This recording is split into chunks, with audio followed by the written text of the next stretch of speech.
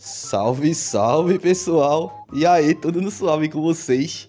Tomara que sim, velho. E vou trazer mais um trecho lá do interrogatório da golpista lá do 8 de janeiro. E pá, 14 anos a pena dela, tá ligado não? E na sequência já vem o voto do Xandão. Peço que se inscreva no canal, deixa like e comentário para ajudar engajamento. Pode comentar qualquer coisa, tá ligado? Na dúvida, joga já aquele sem anistia cabuloso aí nos comentários.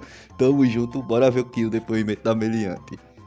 Eu ressalto novamente o seu direito ao silêncio e isso não causará prejuízo à sua defesa. Primeira pergunta que eu faço é: a senhora reconhece como verdadeiros esses fatos que são imputados à senhora? Não, esses crimes não. De maneira alguma. A senhora é, veio para Brasília quando? Cheguei na sexta-feira. Hum, Sexta-feira, acho que era dia é, seis, seis. hum, É, cheguei, ah, eu fui com uma amiga. A ideia realmente também era é, conhecer Brasília, a gente nunca tinha ido. E tanto que eu cheguei em Goiânia, eu fui de avião, não fui de ônibus. É, nós chegamos em Goiânia porque a passagem estava caríssima para Brasília, então a gente achou melhor, né? Goiânia, pega um, um carro e vai. É, em duas a gente dividiu. E eu fiquei num hotel na Asa Norte, que eu não conhecia Brasília, né? Enfim, então a gente achou melhor, era uma área próxima dos pontos turísticos, a gente saiu na sexta, no sábado, né? A nossa ideia, inclusive, eu tinha voo de volta na quarta-feira. E até talvez mudar para terça, enfim.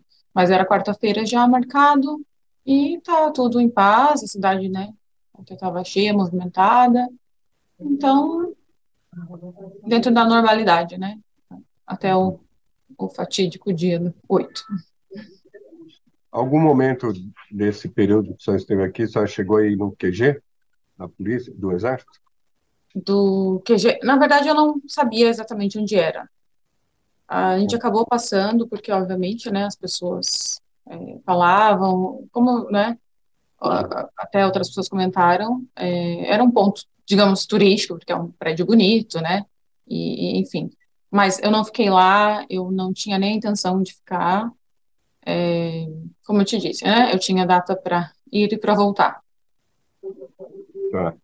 É, a senhora, no, no, no dia 8, a senhora foi em direção à Praça dos Três Poderes? Sim, sim, a gente foi uma manifestação pacífica, como eu já fui em outras ocasiões e nada aconteceu. Como a senhora soube da, da manifestação? Por redes sociais? Sim, redes sociais, como é sabido. Não- até porque se fosse um plano mirabolante, a gente nem ficaria sabendo em grupos abertos, né? Mas, óbvio, totalmente pacífico. Isso era uma coisa mu- muito, pelo menos do que eu li, era, né, pacificamente, tanto que as pessoas levaram cartazes, bandeiras, nada diferente do que já ocorreu em outras situações, né? Hum. Infelizmente, óbvio, né? Fora a quebradeira, que não era esperada, nada de anormal.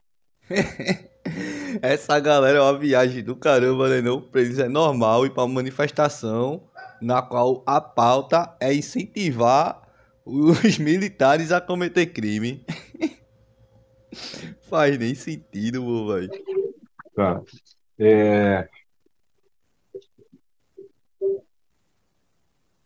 a senhora é, chegou a passar por alguma revista policial? Sim, sim, Hum. e foi o que me deu até muita paz quando eu passei, porque eu até tinha um guarda-chuva que eu comprei lá, porque eu não tinha noção que chovia tanto em Brasília, então ele era grande, e eu passei por uma policial, e ela me revistou, ela abriu minha bolsa, e ela falou, olha, moça, esse guarda-chuva pode ser usado como arma, eu falei, claro, pode ficar com você, não tem problema nenhum, né, por causa da ponta, né, e eu falei, não, pode ficar, imagina, olha todas as minhas coisas, e não tem porquê. Depois daquele momento, eu fiquei mais confiante ainda que era uma manifestação pacífica, né? Porque qual seria a lógica de, de ter um- uma policial revistando, né?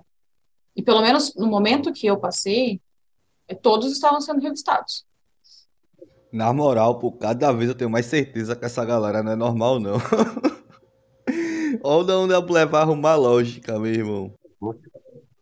Tá. É,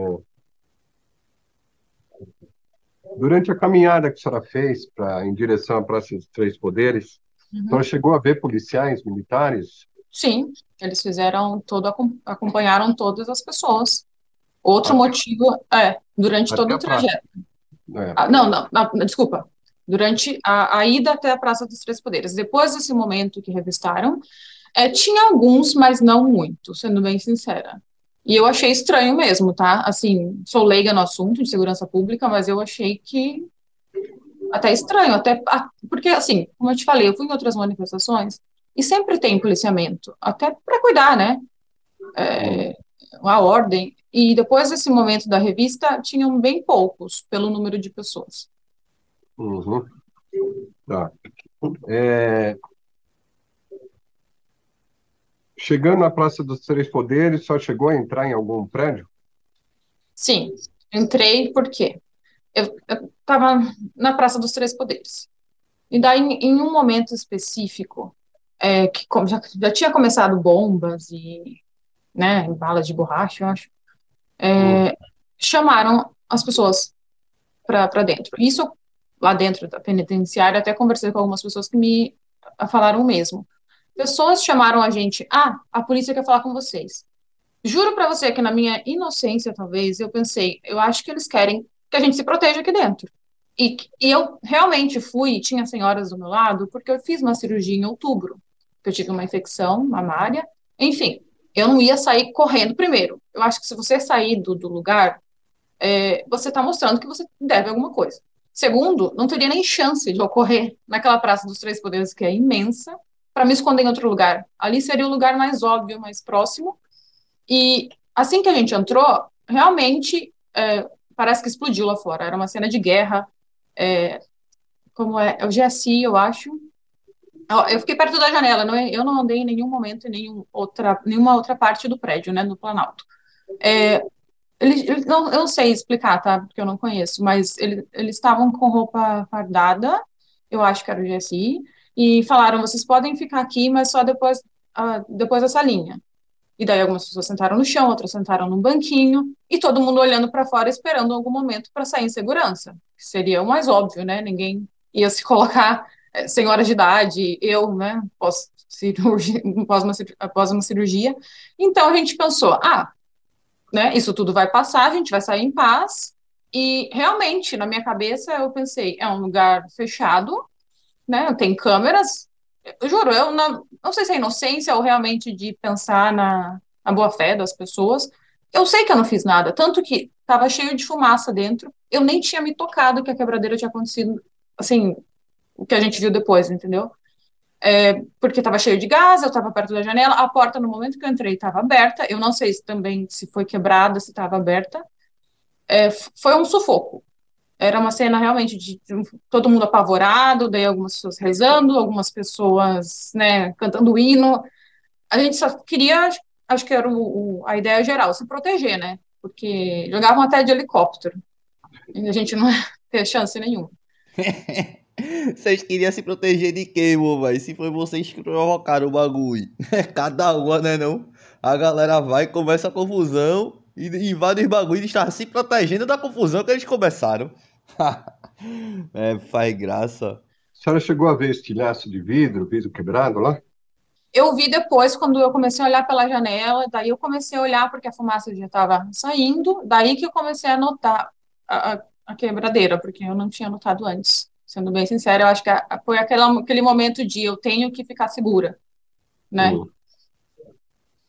É, quando a senhora subiu a rampa, tinha alguém é, falando para a senhora entrar, para se proteger, para entrar? Lembra Sim. se estava fardada, se estava de terno? Não, não eram pessoas fardadas, eram pessoas manifestantes. consideradas não, manifestantes. Uhum. Tá. Só chegou a entrar em algum confronto com a polícia militar? Não. A... De jeito nenhum. Não, de jeito nenhum. Primeiro que da minha educação, da minha, de onde eu vim, a gente respeita muito a polícia. Eu não digo que outras pessoas não, mas assim, para mim seria algo impensável ir contra a polícia. É, e segundo, porque eu eu sou uma pessoa que, né, querendo ou não, eu ainda estava num processo de cicatrização. Eu nem poderia sonhar em levar uma bala de borracha, né, ali. Hum. Na moral, pô, essa galera é muito baratinada da mente mesmo, né? Não? A mulher se recuperando de cirurgia, pô, velho. Foi participar da Revolução do Irmané. E agora quer pagar de sonsa, mas cada uma. A senhora tinha eh, a intenção, ao ir lá na Praça dos Três Poderes, nessa manifestação, de impedir ou restringir, restringir o exercício dos poderes constitucionais?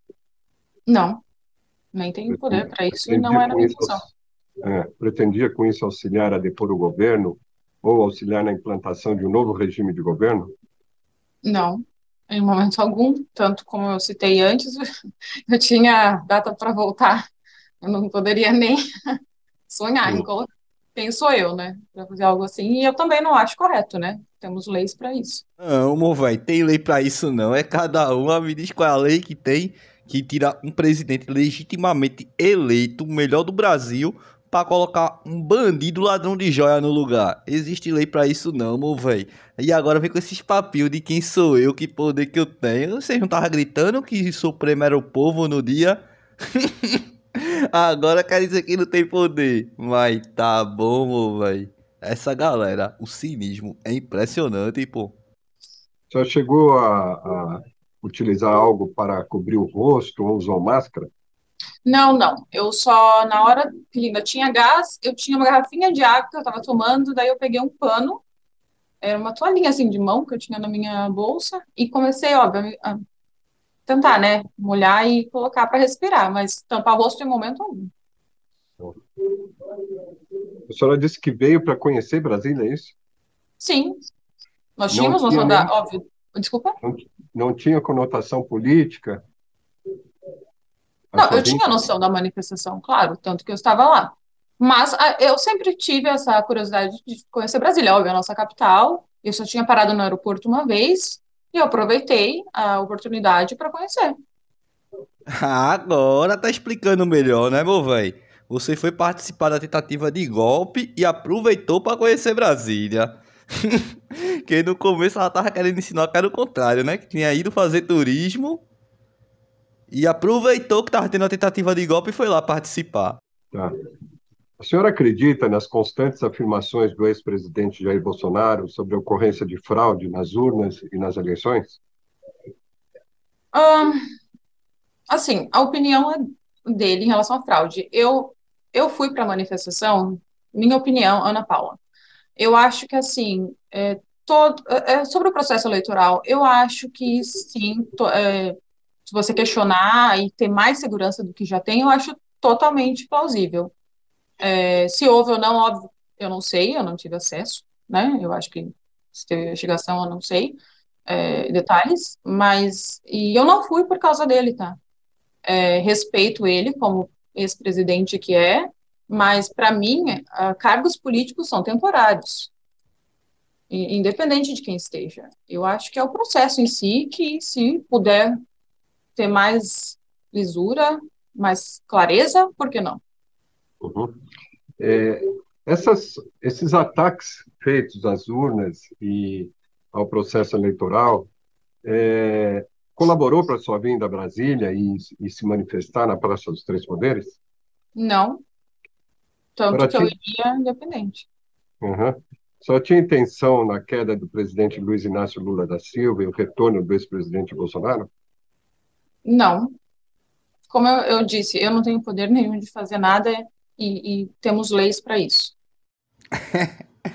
Ei, vô, é muito sonsa, né, não, vô, E ela fica nervosa e começa a rir, tá ligado? Não, ela tá rindo, é de nervoso. o bolsonarista é assim, vai tudo desesperado, tá ligado não? Ei, vou buscar aqui agora o voto do Xandão. Bora ver se ela gritou que Supremo era o povo ou não. Pronto, tô aqui né, com o voto do Xandão agora. Vou trazer um trecho aqui. Nesse contexto de presença de materialidade de crimes multitudinários, a coautoria da Ana Paula de Souza vem comprovada integralmente pela prova dos autos. Em seu interrogatório policial, a ré afirmou que reside na cidade de Florianópolis, Santa Catarina, e chegou em Brasília na sexta-feira. Diz que veio de avião, mas pousou em Goiânia, e de lá vieram de carro. E aqui está dividido o quarto em um hotel com sua amiga.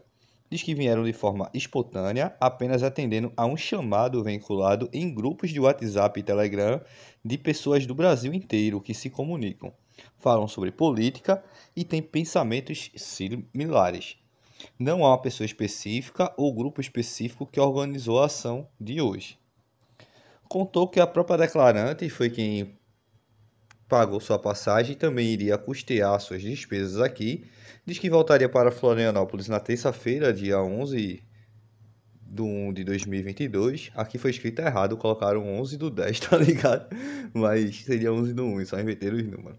Contou que trouxe cerca de 100 reais em dinheiro diz que o motivo da ação foi para se manifestar contra as eleições e outras coisas que aconteceram essa semana, como decretos e atos do novo governo federal. Isso fez com que as pessoas ficassem assustadas e desesperadas.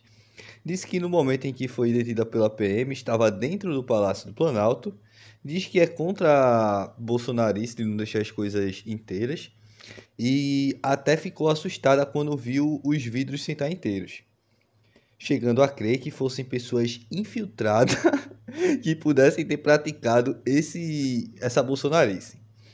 Conta que entrou dentro do Palácio do Planalto porque viu soldados do exército lá dentro e queria falar com eles, pois acreditava que eles fossem apoiar a manifestação. e logo que entraram, iniciaram os barulhos das bombas e os policiais militares começaram a agir.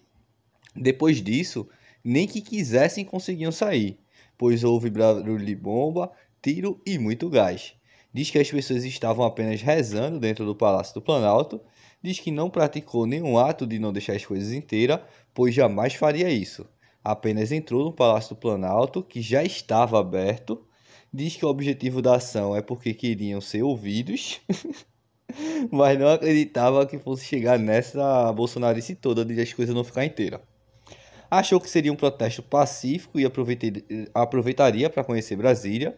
Diz que nenhuma das mulheres que aqui estão presas não fizeram nenhum ato de bolsonarice, de não deixar as coisas inteiras.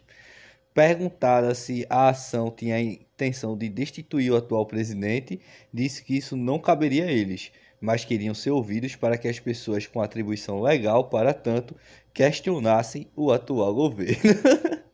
atribuição legal na mente dela é o exército, tá ligado, né? Essa galera é muita onda, né? Não? Aí segue aqui, autoridade pela autoridade judicial, pá, eu vou pular aqui que vem as ideias que ela deu agora, aí segue. A ré, Ana Paula de Souza, foi presa em flagrante pela Polícia Militar do Distrito Federal no interior do Palácio do Planalto no instante em que ocorreu as bolsonarices, objetivando a abolição do Estado Democrático de Direito. Em seu interrogatório judicial, a ré confirma sua conduta de invasão ao Palácio do Planalto, bem como sua passagem pelo QG. A participação ativa da ré na empreitada criminosa fica comprovada com um magnífico e exemplar laudo produzido pela Polícia Federal, elaborado a partir de amostra de referência recebida para exames com obtenção de um perfil genético unitário, bem como também pelo outro laudo da Polícia Federal de extração de dados do seu aparelho celular. Na ocasião, a autoridade policial assim consignou. Cumprimentando cordialmente em resposta ao ofício eletrônico de tal número, encaminho em anexo o laudo tal, elaborado a partir de amostra de referência recebida para exames com obtenção de um perfil genético unitário completo do indivíduo identificado como Ana Paula de Souza, de tal CPF, em que observou-se coincidências com o perfil genético codificado como indivíduo 67. Obtidos os exames descritos pelo laudo, e no, laudo, no outro laudo a partir de vestígios coletados no Palácio do Planalto, em Brasília, DF. Informa-se que o auto da sua prisão em flagrante de Ana Paula de Souza foi lavrado pela pelo Departamento de Combate à Corrupção e ao Crime Organizado, DECO, da Polícia Civil do Distrito Federal, e que foi encontrado em sua posse o aparelho celular da marca Apple de tal modelo, Ibraipá, com tal e-mail e tal não sei o que, de cor cinza, sem senha configurada acompanhado de um chip de tal operadora, Ibraipá, pá, não sei o que, apreendido no auto de apreensão de tal número, por ordem de Vossa Excelência, este celular, juntamente com outros que foram apreendidos pela Polícia Civil do Distrito Federal, foi entregue à Polícia Federal, fazendo parte do termo de apreensão de tal número, item 41, submetido à análise pericial, foi identificado no laudo de tal número da Polícia Federal que o WhatsApp estava configurado com tal número e associado ao nome de Ana, e foram identificados arquivos de fotos e vídeos criados pelo usuário no dia 8 de janeiro de 2023, que remetem ao eixo monumental em Brasília DF e ao entorno do Palácio do Planalto, Congresso Nacional e Supremo Tribunal Federal, inclusive com cenas das coisas inteiras e invasão. Aí segue aqui. Do material extraído, além de seu interrogatório, constata-se que a ré compareceu no QG. Aí já vem uma foto aqui dela lá no QG, aí, tá ligado? E segue. Pelos vídeos gravados, a ré pela ré, fica comprovado que esteve na parte superior do Congresso Nacional, segurando faixa em que pedia, aspas, intervenção militar, fecha aspas. Vê que bravinha, velho. Ela guardou no celular dela uma foto dela segurando faixa pedindo intervenção militar. E agora quer dar a ideia que não queria depor o governo, não. Ela queria que os outros que fossem depor, tá ligado? Não. Aí segue aqui. Em seguida, Ana Paula de Souza grava vídeo que afirma, aspas, Gente, estamos aqui no Congresso, dia 8, a gente tomou aqui o Congresso, tá cheio de patriota aqui, um dia histórico, depois de 10 anos da invasão de 2013, a gente tem que estar aqui de novo, pois só piorou. Mas a gente vai tomar o poder de volta! Ai, ela queria dar golpe não, só queria tomar poder, meu velho. É diferente, tá ligado não? E segue aqui. Ainda diversas mídias de teu golpistas extraídas do seu aparelho celular, com mensagens convocatórias de tomada de poder e paralisação. Eita, movimento pelo Brasil, código-fonte, greve geral, ninguém vai pedir a vitória, greve geral, faxina geral em três poderes, só bagulho periculoso, tá ligado não? Segue aqui o voto depois. O conjunto probatório apostado aos autos corrobora que, na linha da, fala da própria ré, na ocasião de sua prisão em flagrante, estava na capital federal, dia 8 de janeiro, para participar de manifestação de apoio uma intervenção militar. Aqui erraram de novo na data, é 8 de janeiro de 2023, colocaram 8 de janeiro de 2022. Bora ver aí, viu, assessor de Xandão. Escreveu o bagulho direito, amor, velho. Oxi! tô brincando, tô brincando. O importante é a pena no final. que por sinal também tá errado, viu, meu velho? 14 anos pra essa golpista aí. Oxi, ficou barato demais.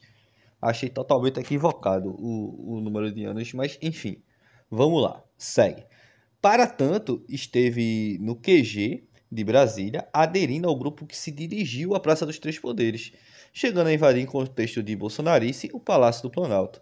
O robusto conjunto probatório trazido aos autos assegura que Ana Paula de Souza incorreu nas figuras típicas imputadas na denúncia. Está comprovado pelo teor dos seus interrogatórios policial e judicial que Ana Paula de Souza integrava grupo do QG que buscava em clara tentada à democracia e ao Estado Democrático de Direito a realização de um golpe de Estado com decretação de intervenção das Forças Armadas.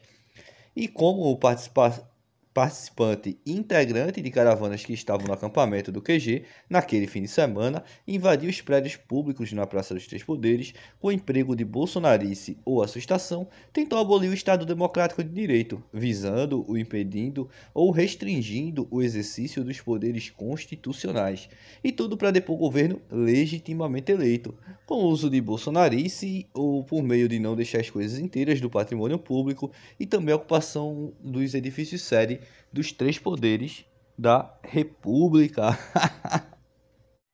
Enfim, meu velho, só de saber que um bolsonarista pegou só 14 anos eu já acho pouco, tá ligado? Independente de qualquer coisa, meu velho. Mas depois de ver aqui o voto do Xandão, oxi, baratíssimo esses 14 anos, era pra ter sido 20 ou mais, tá ligado não? A mulher cirurgiada participou da Revolução dos Mané. Imagina daqui a um ano que ela tiver recuperada. O que é que essa bicha não vai fazer, meu velho? Ou até agora mesmo, né não? Oxi. Essa galera, essa mulher não era nem pra estar tá respondendo o bagulho em casa, era pra estar tá guardadinha já, tá ligado não? Que mulher periculosa. Ei, eu vou encerrando já o vídeo por aqui. Por favor, na humildade, mano, de coração mesmo, eu imploro. Aperta no botão do like se não apertou até agora. Se inscreve no canal se não for inscrito e deixa aquele comentário para ajudar em engajamento pode comentar qualquer coisa, tá ligado? Se tiver na dúvida, constrangido de falar alguma coisa, é só jogar assim, ó, sem anistia. que já fica de bom tamanho, velho. E encerrando os vídeos aqui por aqui, como eu tinha dito, até a próxima. E é importante informar também que golpista bom é golpista preso, meu e vão ficar sem saidinha, tá ligado não? Que os bolsonaristas de padala lá do do parlamento já trabalhou nesse sentido, meu velho. Oxe, eles deixaram eles mesmos sem saidinha. Vê que viagem, meu velho. Não se grava, eles mesmos se gravam.